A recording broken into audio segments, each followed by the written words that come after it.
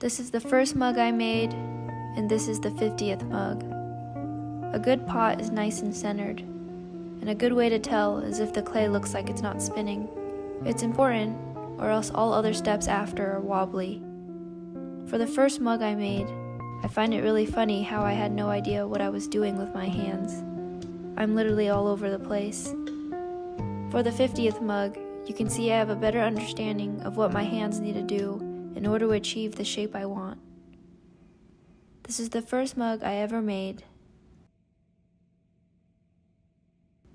These are the mugs before 50, and this is the 50th mug, my favorite out of all of them.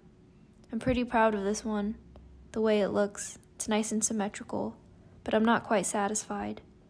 If I can follow along on this journey of creating a great mug, see you tomorrow.